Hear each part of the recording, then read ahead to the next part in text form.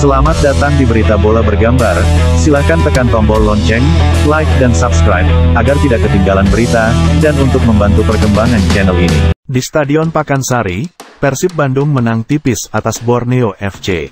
Gol tunggal Persib terjadi sangat cepat, di menit ke-6 babak pertama, melalui bintangnya David Da Silva memanfaatkan umpan dari Ciro Alves.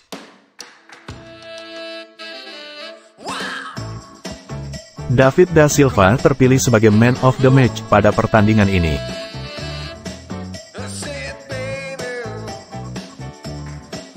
Dengan hasil ini Persib kokoh di puncak klasemen sementara dengan nilai 39.